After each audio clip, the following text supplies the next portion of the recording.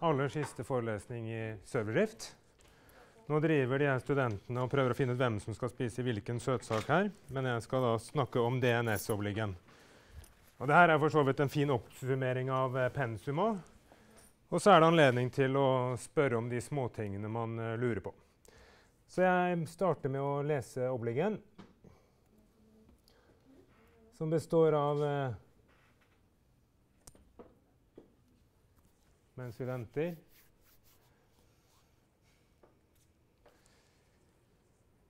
Ja, den serveren er ikke ofte nede.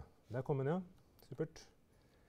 Så Først så skal vi bare sjekke at dere skjønner hvordan DNS fungerer, ved at dere manuelt gjør et oppslag etter IP-adressen til uh, favorittserveren deres.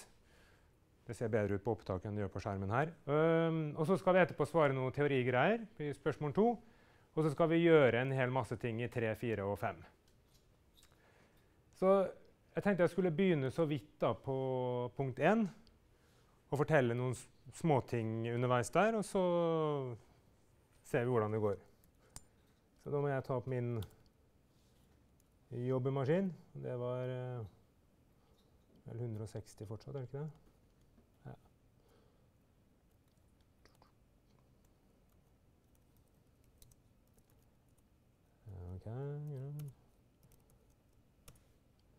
Ja, Der har vi IP-aliasen oppå, sånn, så alt er klart til det. i alle fall. Så la oss nå si at eh, Dagbladet var eh, favorittnettstedet mitt. Det er det for så vidt ikke, men det er lett å komme på. Og Da kan det jo være greit å starte med å finne svaret. Det vi er ute etter. Så svaret ja, Det der er jo litt slitsomt for dere.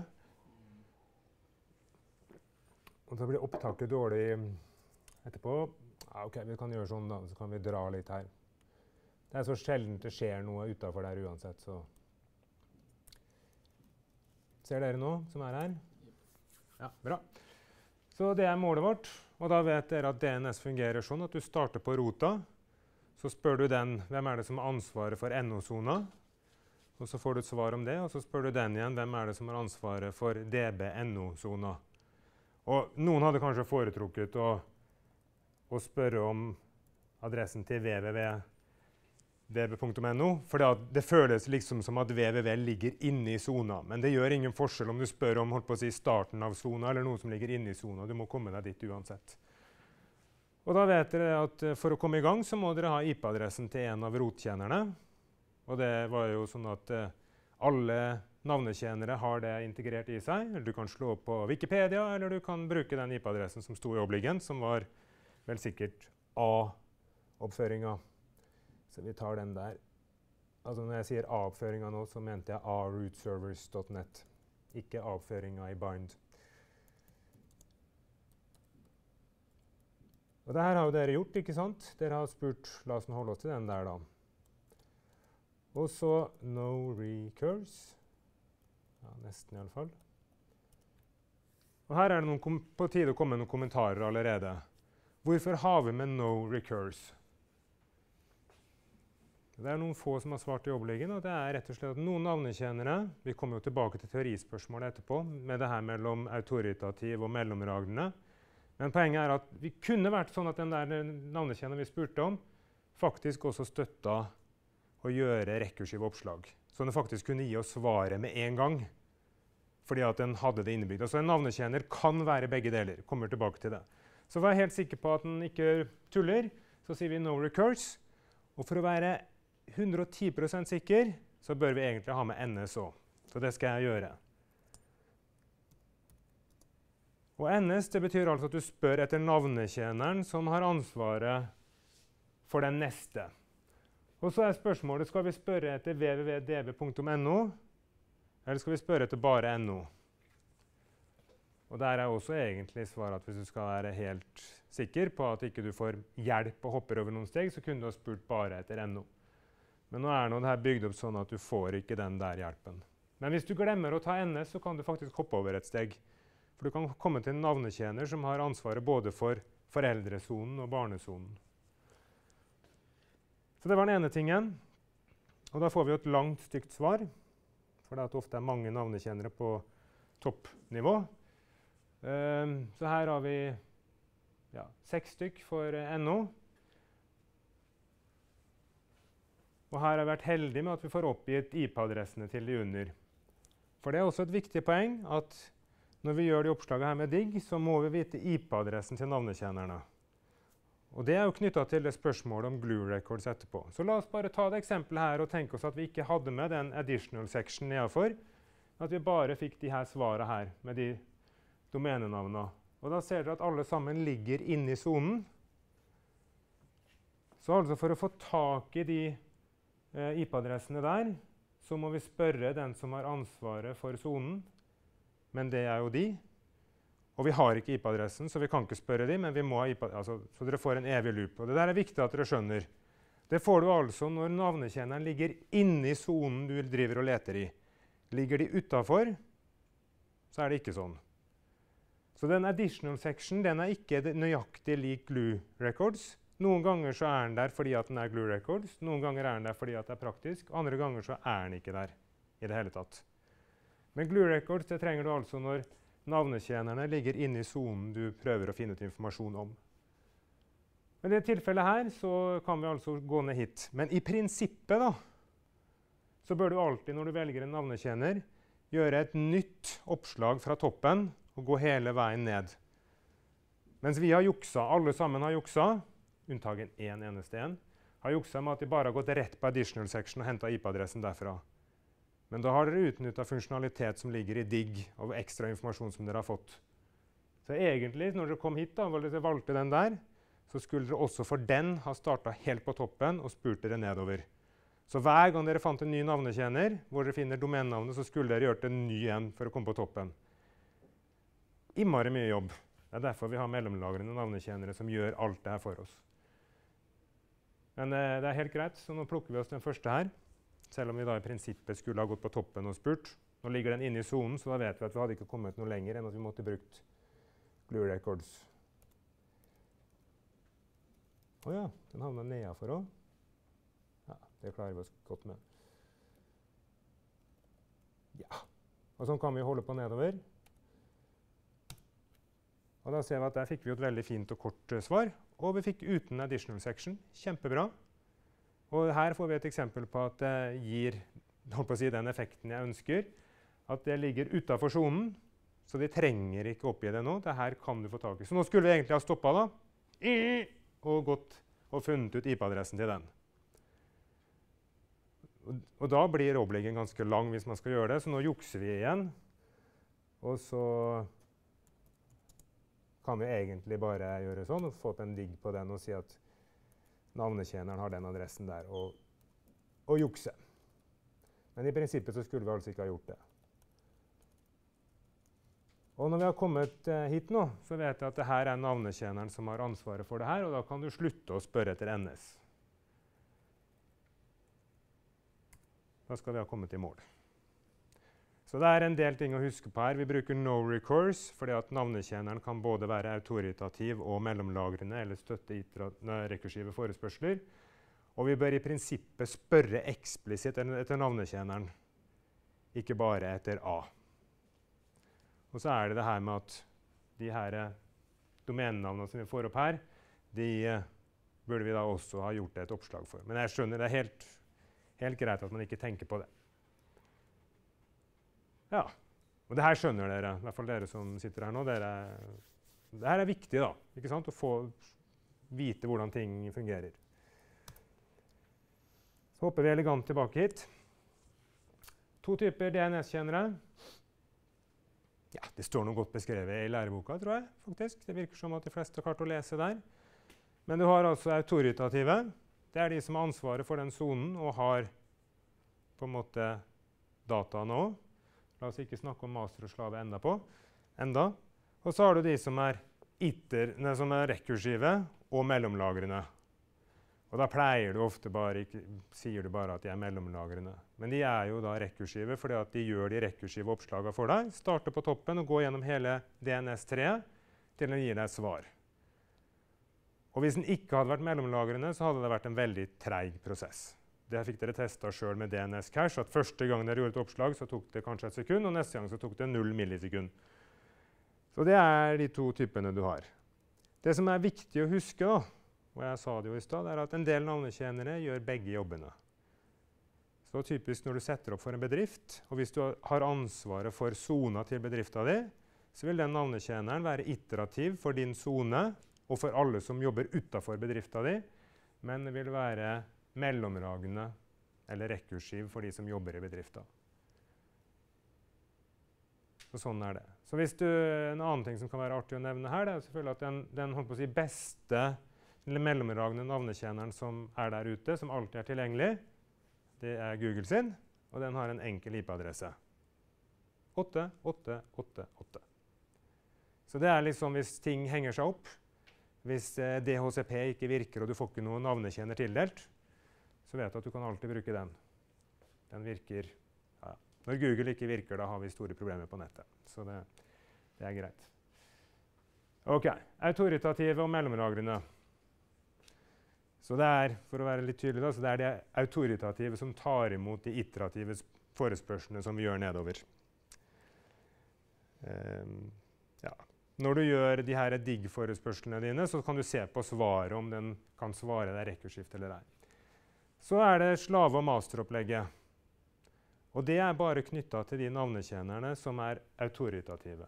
Så både slaven og masteren har dataene for sonen, som de har ansvaret for, men det er masteren som leser de. Og da leser han det selvfølgelig vanligvis fra disk. Men det er altså masteren som du som driftsansvarlig har ansvaret for å holde oppdatert. Det er den du gjør endringene på, og så sprer det seg til slaven via forskjellige mekanismer. Og Det snakker ikke læreboka så mye om, men det er i hvert fall to forskjellige. Det ene er at slaven regelmessig spør masteren. For at I sonefila så står det at når det har gått så, så lang tid, så er dataene som slaven har, utdatert. Og da må han spørre masteren om du kan få nye.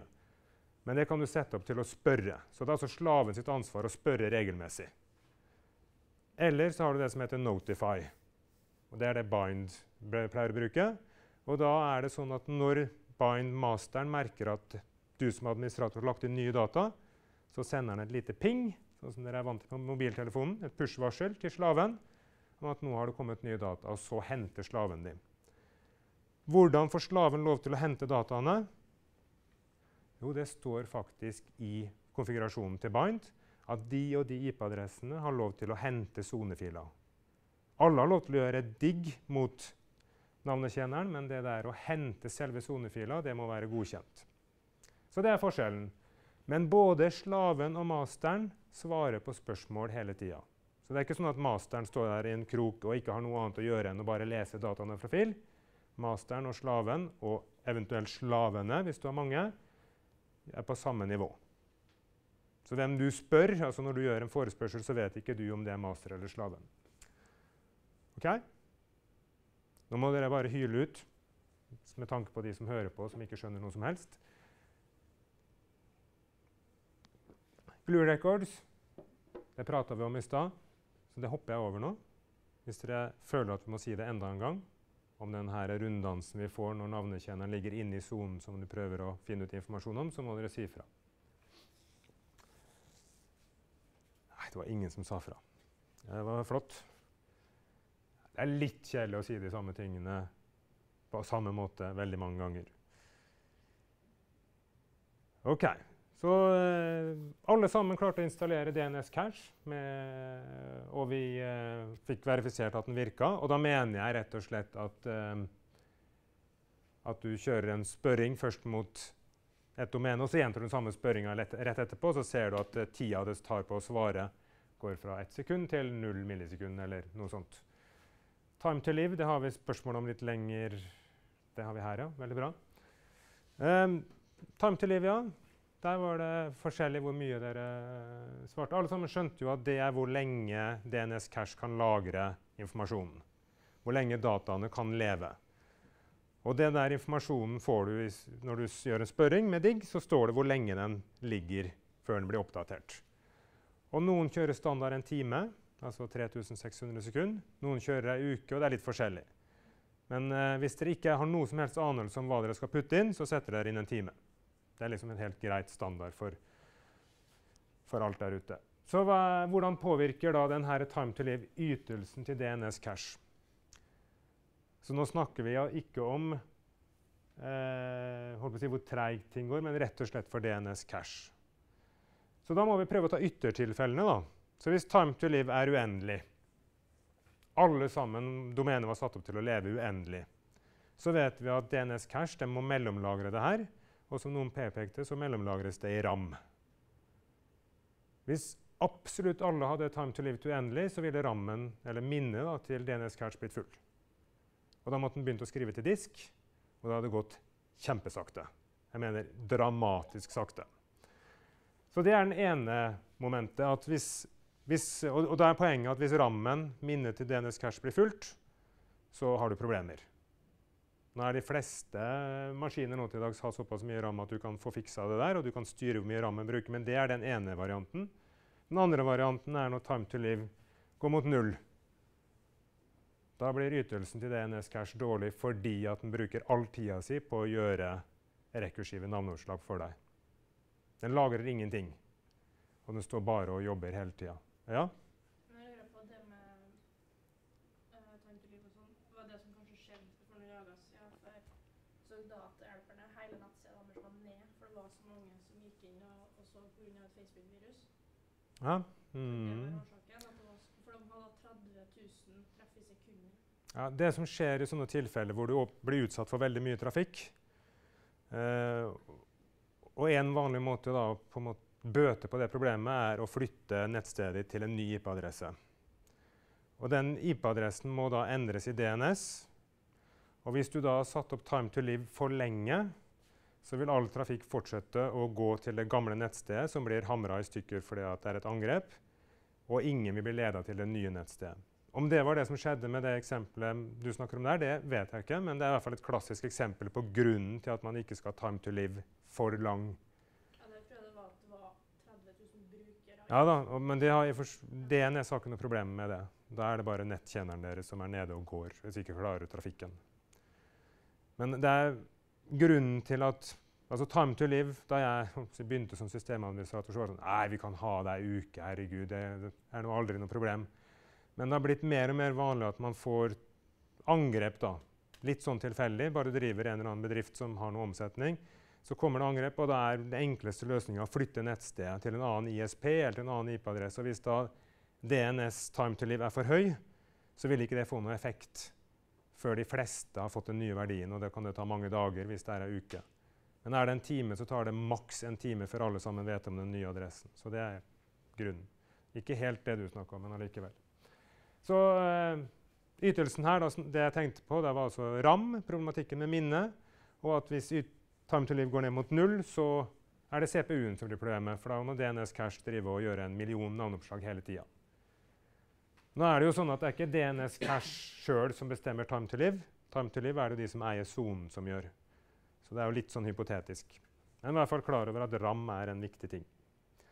De har alle sammen oppretta.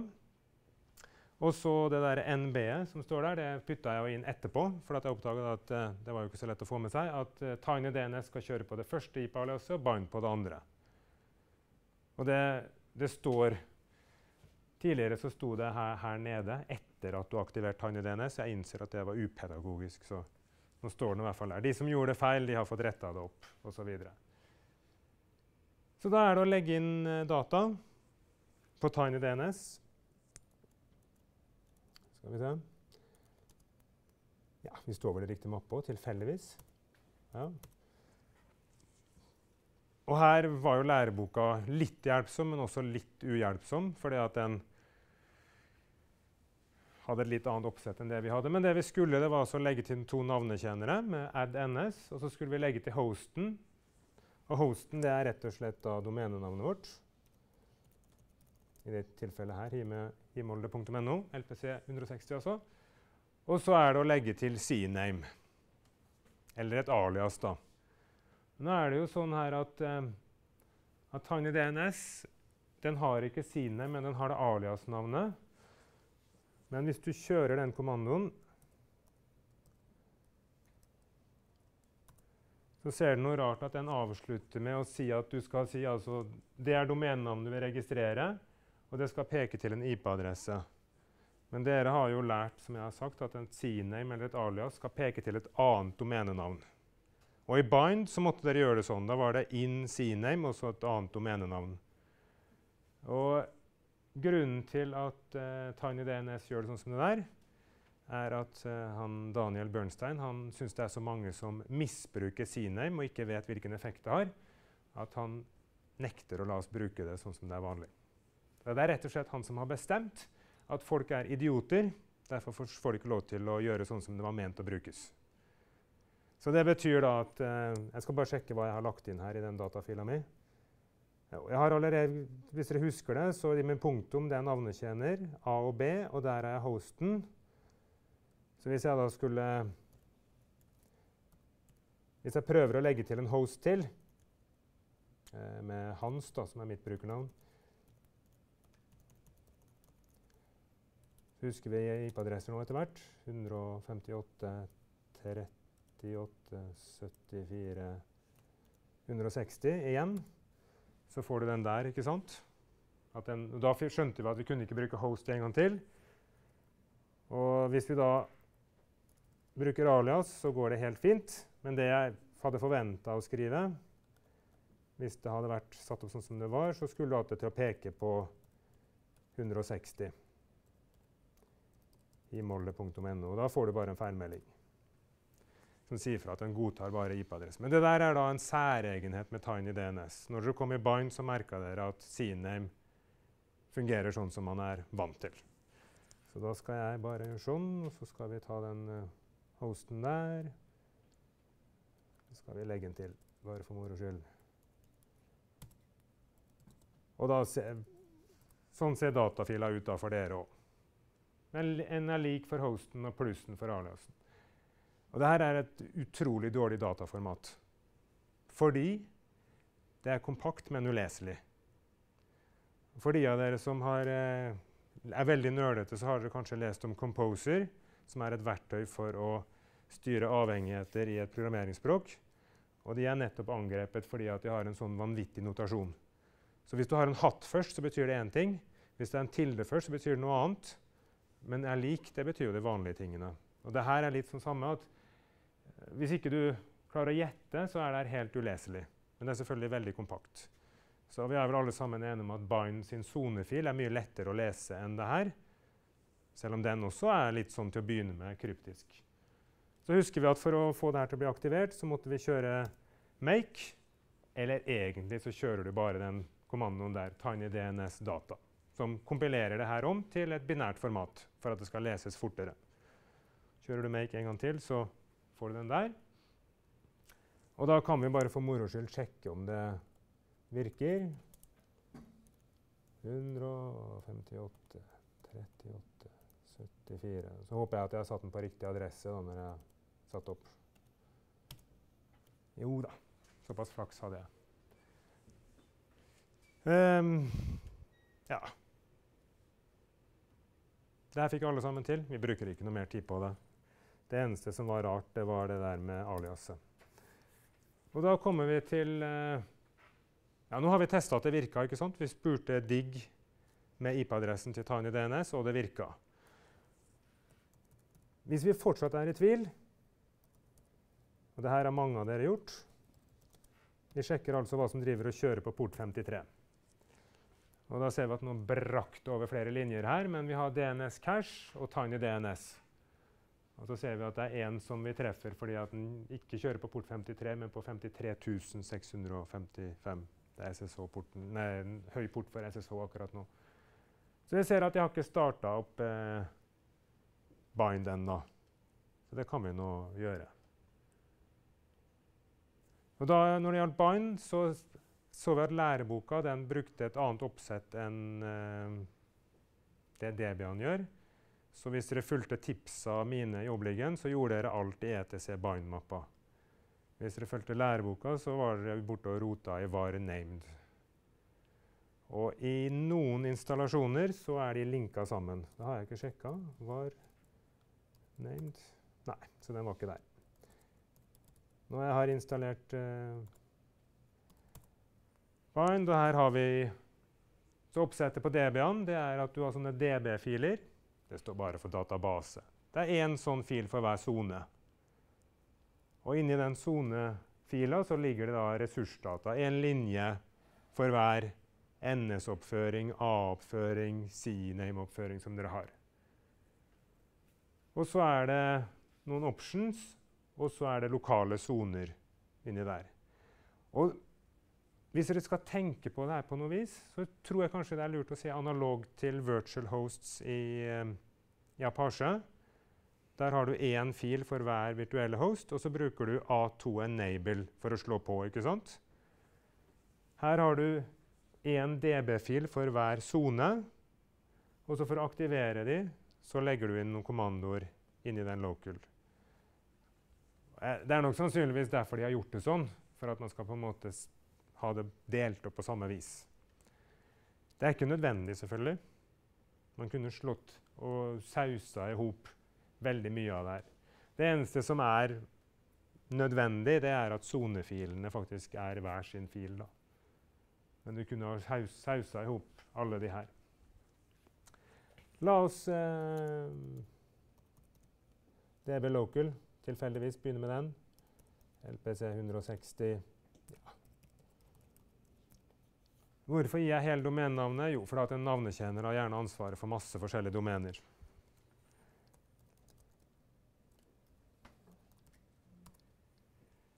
Så hva er det her for noe rart, da? En ting dere legger merke til i denne i forhold til læreboka, er at origin mangler. Til læreboka så har dere en linje her. Origin. Og så LPC 160 i molde.no. Med eller uten punktum bak. Ikke så nøye akkurat der. Eh, den trenger du ikke ha med, fordi at den er implisitt definert når du forteller Når du definerer sonen. Så nå skal jeg vise hvor den der informasjonen kommer fra.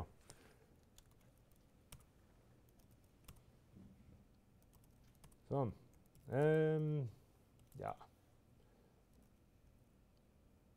Default zones.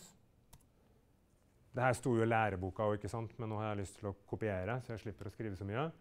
Så prøv å hoppe over den hinten. Men alle de her eh, local host og type master og sånn, alle de kan vi kopiere.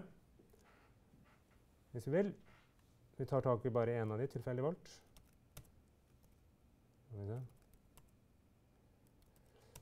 Sånn. Den ser vi.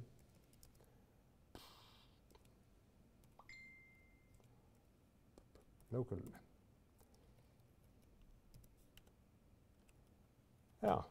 Er, den her er det som definerer origin. Ok? Du definerer sonen LPC 160 himmålet.no. Den verdien som står der, den tilordner du til variabelen origin. Derfor så trenger ikke du å sette den i sonefila. Og så For å gjøre det oversiktlig så hadde vi allerede den gitt den der samme navn som sonen. Da gjentar vi den der. Men altså det er den linja her, zone, som setter origin. Så i de fleste sonefiler så vil du altså ikke se den der origin som læreboka snakker om.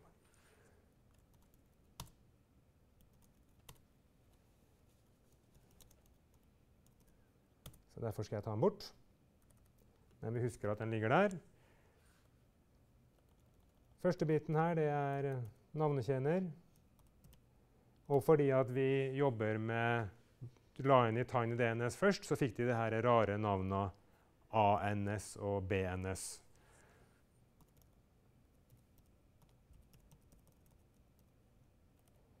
Og um, de kan vi godt beholde. Det er ikke vanlig på andre plasser. Da vil dere se NS1 og NS2. Altså dere, det er ikke noe ekstra nivå der.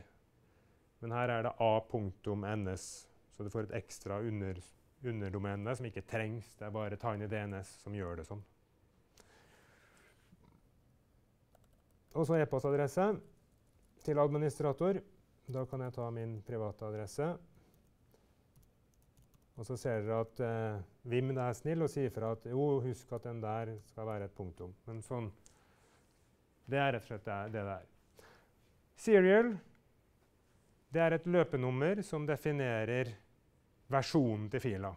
Så hver gang du gjør en endring, så skal den inkrementeres med 1.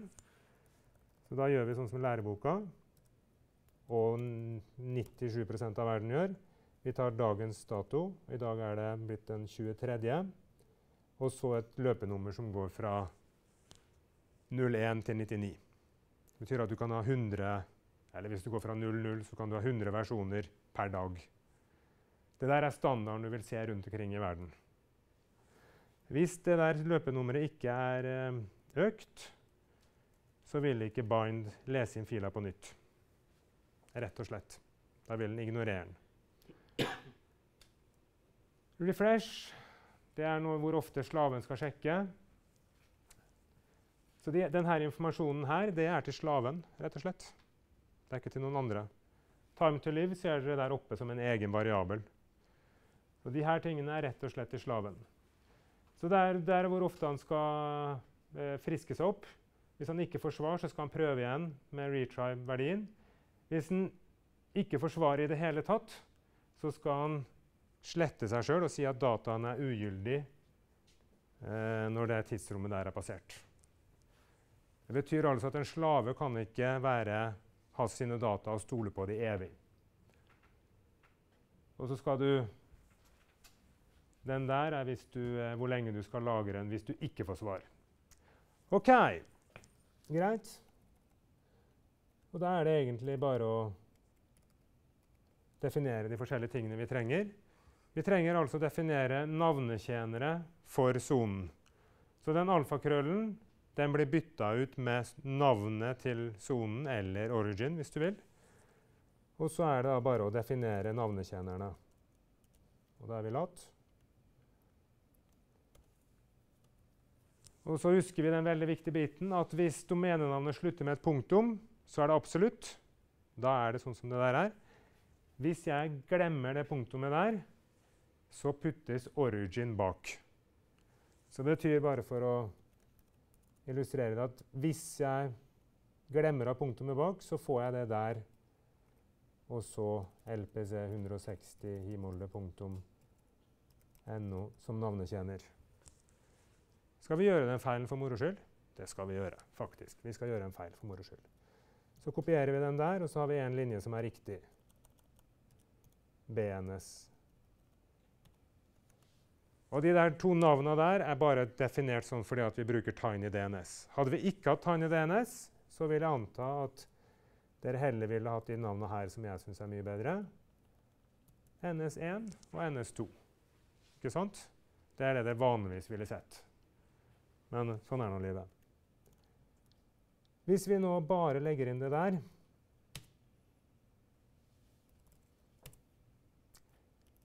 Og det kan vi jo gjøre. Service, bind, nine ja, Jeg skal bare sjekke. Vi, eh, vi må passe på at um, bind lutter bare på localhost. Nei, på IP-adressen vår, så listen on Vi kan godt si non der, da, bare, siden, men vi kjører ikke IP6 uansett. Den skulle lytte på 158, 38, 74 240. Og så skulle det være recursion non, men det driter jeg i akkurat nå. Service, bind, 9, start, for den var vel stoppa. Kan vi sjekke med nettstat om den er oppe og går. Og da ser vi named, som går på 240 der oppe. Og den kjører TCP. Mm, OK, det ser bra ut. Da skal vi spørre Bind hvordan, det, hvordan er livet. LPC 160 Himolde med noe NS.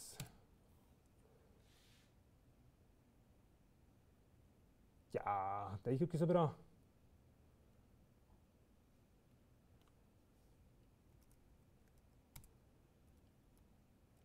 Og den går heller ikke noe.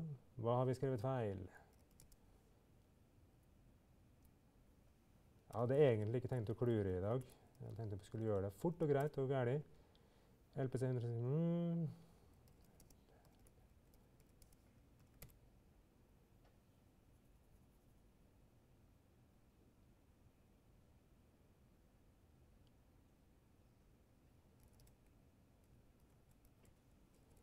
Named check zone. Det gjør ingenting at alle sammen finner ut den. Det programmet der den sjekker en sonefil, om den er skrevet riktig. Det er i hvert fall en start for å finne mulige feil. Um, og så navnet på sonen. Og da jukser jeg litt sånn. Navnet på sonen, og så navnet på sonefila.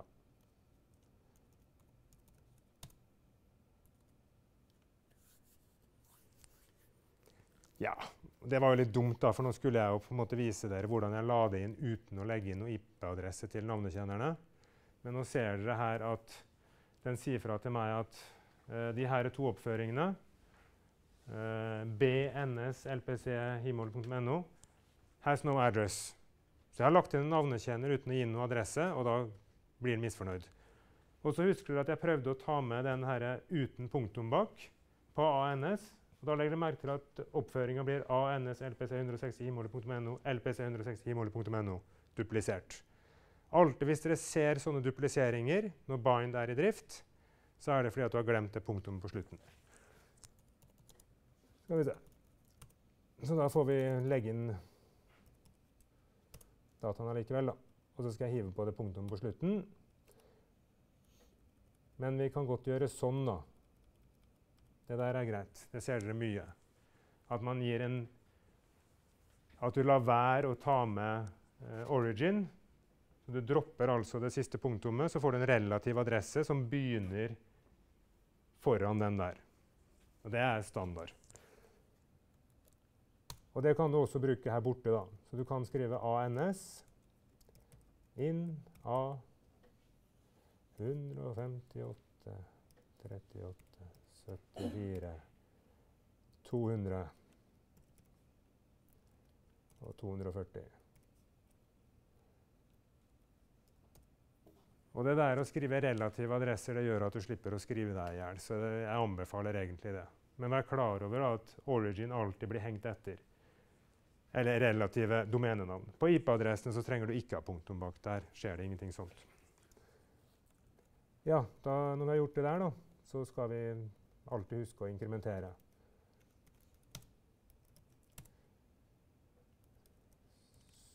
Service bind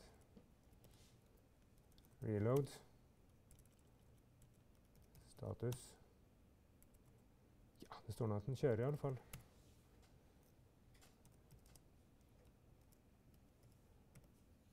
Ja. 74 240 LPC 160 i Molde. NS. Ja. Så nå har vi lagd inn to navnetjenere, og så gjenstår det bare å legge inn de to IP-adressene til Eller A-oppføringene. Så det Ja, skal vi gjøre det? Ja, kanskje vi skal, bare for moro, i full fart. Uh, DB, LPC. Så da trenger vi selvfølgelig en A-linje. Og det var for selve domenenavnet mitt, LPC160 osv. Og, og da vet vi at vi kan bruke den. Og så skal jeg peke den til min offentlige IP. Og så skulle vi ha et alias. Hans in CNAME. Og da kunne du også hatt 18 der, eller hvis du har lyst til å gjøre det helt tydelig, så kan du skrive det ut. Husk punktumet bak. Så sånn ser sonefila ut. Og det fikk alle sammen til et mer eller, uten, uh, mer eller mindre litt hjelp. Uh, det som var forvirrende i læreboka, var at de hadde lagd en undersone så det var sub overalt. Og, uh, selv om jeg prøvde å påpeke at det ikke var så viktig å ta med subben, så, så ble det noe sånn. Men, men, se i hvert fall mønsteret. at Du må definere to navnekjennere. Du må alltid gi de to en IP-adresse. Og så etter at du er ferdig med de fire første linjene, så kommer på en måte alle ressursdataene dine nedover her. Så hvis du skulle hatt en, en, en eh, ja, e-posttjener, f.eks.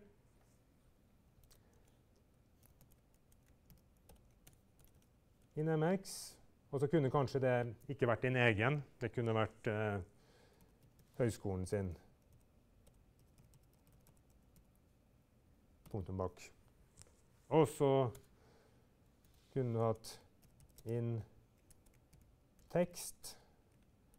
Og inni der så kunne du skrevet Google sin verifisering eller hatt en ny linje med Microsoft sin verifisering. Men sånn ser tekstoppføringer ut. Du bare skriver inni der. Og hvis du skal ha flere, så er det bare flere linjer nedover. Det, så en så, sånn bind sonefill er faktisk ganske grei. Det her grapset her oppe det er alltid litt mystisk. Det er derfor de pleier å ha med kommentarene bak, så du husker hva de tallene er. Og her har du bare navnet på én Det skal da være master-navnekjenneren i utgangspunktet. masteren, Og så er det e-postadressen din. Men selve ressursdataene dine har et veldig vanlig eh, format. Det er et domenenavn. Så forteller du hvilken rolle det som kommer til slutt, skal ha. Så egentlig så ville jeg kanskje likt å lese det andre veien. Ikke sant? For eksempel på, på e-posttjenere så er det litt artigere å lese at outlook.himmel.no er e-posttjener i den sonen. Men det er nå det som det formatet har blitt, at det er litt motsatt av det vi kanskje ville lest. Samme her òg. ANS LPC himmel.no er navnetjener i sonen. Jeg vet ikke. Jeg syns fall formatet er OK. Om ikke perfekt, så er det OK.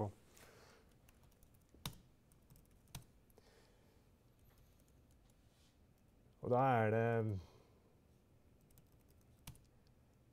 egentlig bare å passe på delegeringa. Hvis vi skal få det her til å fungere, de to navnekjennerne våre, så skulle vi altså ha sagt fra til de som har ansvaret for Himolde-NO-sonen. Så digg himolde.no NS. Så vi skulle sagt fra da enten til Høgskolen i Molde eller til Uninett om at for LPC 160 himolde.no, den sonen, så vil jeg at mine navnetjenere skal ha ansvar. Og så har vi diskutert masse frem og tilbake at uh, det kurset her det er ikke viktig nok til at Uninett og IT-senteret gjør det der for oss. Derfor så må vi gjøre det lokalt i DNS Cash. Og i DNS Cash så har den ja, Skal vi gå dit? Det ser litt tydeligere ut.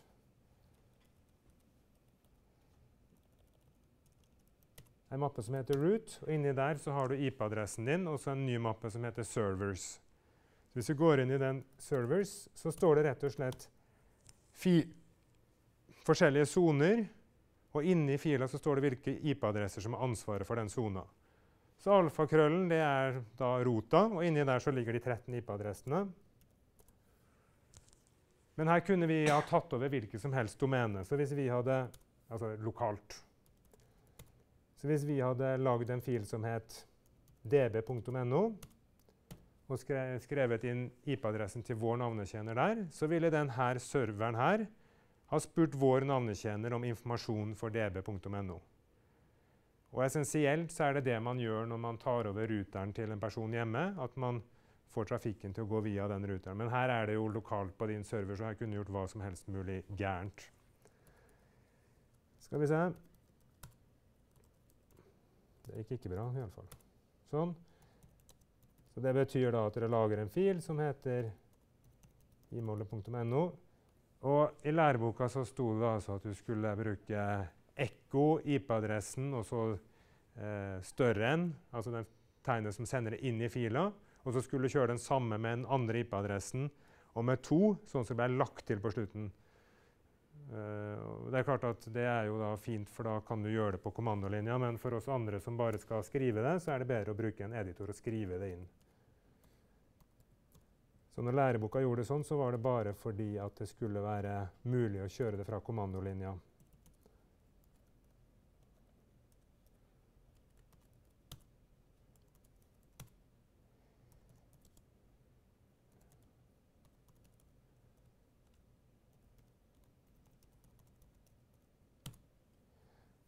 Så hvis du ikke gjør noe som helst, hvis du ikke sier fra til DNS Cache at den skal reloade, så er det ikke alltid det virker. Så nå håper jeg da at uh, med en reload så virker det. Du husker SVC, og da kan du enten ta den ned og så opp igjen, eller du kan sende en terminate til den, som får den til å lese på nytt. Et Service DNS Cache. Ja, det der er jo ikke veldig tilfredsstillende.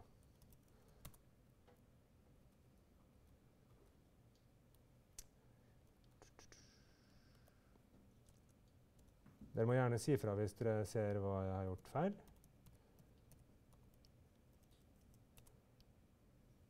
Ja, Det gikk i hvert fall ikke bra, for der mangla det et punktum. Så den svarte. Men når du var inni noen filer i stad, Ja. så endra du på det der noe serienummeret eller noe? Sonefiler. Det er. I sonefila. ja, skal vi se. Det gjorde ikke siste gangen. Mm, Nei, det kan tenkes, det. Det er mulig. Da skal vi ta ETC bind.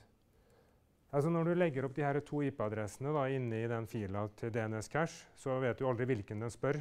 Så den kan, spør, kan spørre den første eller den andre. Bind, DB, LPC. Vi kan jo øke den til 3, og så kan vi se etter det er noe annet vi har gjort gærent her. da. Skal vi se kan nå Nei, det ser nå veldig riktig ut.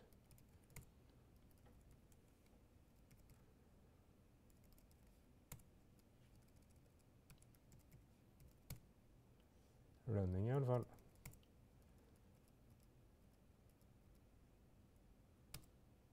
Se der, ja. ja.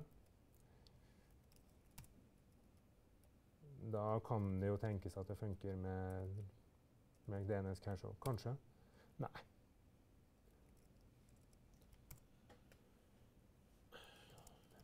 Står LPC 160, så ikke hans foran. Så når du Nei, men det, det trenger du ikke, for du delegerer sonen ned.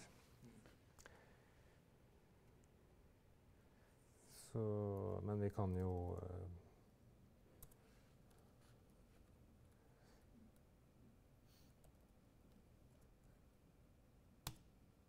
For vi har ikke noen undersone. Så Nei, vi er ikke helt ferdig. Uh, ja. Nei, jeg har veldig lite lytt til å tro at det er det som er feilen nå. ETC Service, DNS Cache. Dere som har fått det til, dere burde nå Har alle sammen lagd en eh, en ekstra fil? Ok.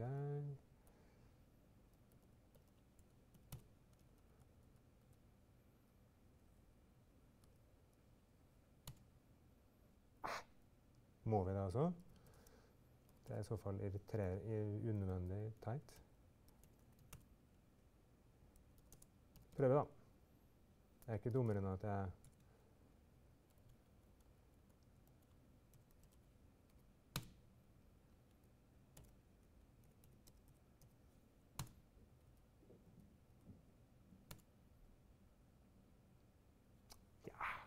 kanskje jeg måtte det. Skal vi ta den bort igjen? Jeg er nysgjerrig. Skal vi se. Caps lock, fint. Remove, Hans. Og så SVC sted. Nei, den er der, ja. Jeg tror, det stemmer. Kanskje jeg ikke så noe etter i stad. Det skal egentlig være nødvendig bare å lage den der fila der, altså. For da har du delegert ansvaret til Altså du lager den fila for sonen LPC 160, og den har ansvaret for den. Og siden du ikke har lagd noe undersone, så skal du gå med hans også. Ja ja, litt kluring hører alltid med. Siste var nå bare Apache i full fart. Og det er bare å lage en ny sonefil. Nei, virtual host. Eh, CD sites available. Enten så kan du skrive fra scratch, eller så kan du kopiere litt. Vi kan da skrive fra Skal vi se. Hans LPC ja, Skal vi ta en bindestrek? Nei, vi tar punktum. vi.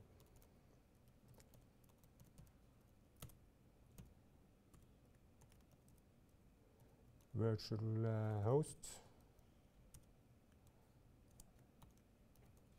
Ja, ja, ja.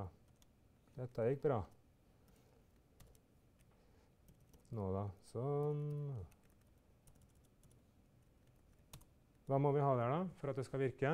Det, er to ting. Servername, Server name, takk.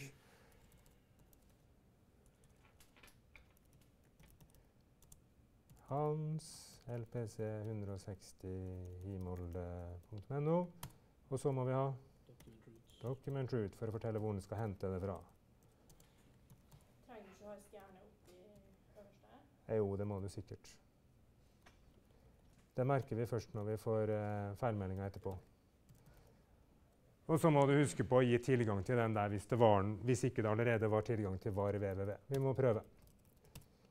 Sånn, skal vi se. Vi har lagd uh, var www.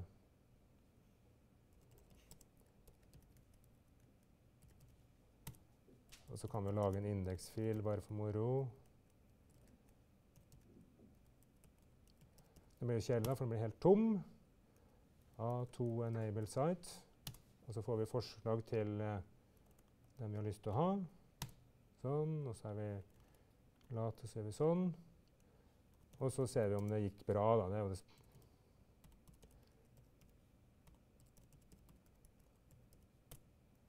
Det var feil.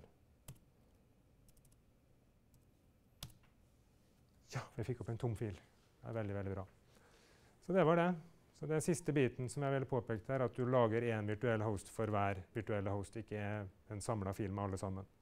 For da kan du slå de av og på med A2 Enable Site. Men den der eh, siste der, den hans punktum Ja. funker den i en annen nettleser enn Links? Den fungerer i alle nettlesere som fungerer på kommandolinja på serveren din. Ja, men bare der. Nei, du får det ikke opp på din maskin lokalt. Eh, måten å få til det på, det er eh, eh, å gjøre din DNS-cache på den serveren her tilgjengelig offentlig. Altså Nå ser vi jo at eh, DNS-cache kjører her på, på localhost. Hvis du istedenfor har satt opp den til å kjøre på din offentlige IP, altså 158.38.74 XXX, i mitt tilfelle 160, så ville du kunne brukt den på din laptop. Men da måtte du da altså gått inn i konfigurasjonen og sagt fra at du skulle bruke den navnetjeneren istedenfor den som DHCP hadde satt opp for deg. Så det er jo ekstremt tungvint. Men for moro skyld så går det an å prøve det. Men, eh, ja da, nei, det, Ja. nei, det går ikke noe bra. Det fungerer. Veldig bra. Nei, det fungerer bare lokalt. Eh, alle de som da eventuelt Hvis du teller, setter opp til å bruke den offentlige IP-adressen. Så det som eh, Skal vi se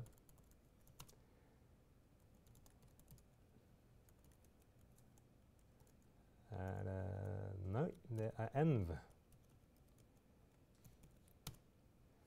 Hvis du endrer den fila der til å bruke din offentlige IP-adresse, og så restarter du DNS Cache, så, så funker det. Hvis du også setter opp laptopen din til å bruke den der som navnekjenner. Ja. Ja, men da ble det litt kluring, da. Det er alltid litt gøy med kluring. Takk for eh, oppmøtet. Så tror jeg vi er ferdige for i dag. Sikkert folk som vil ha rom og alt sammen.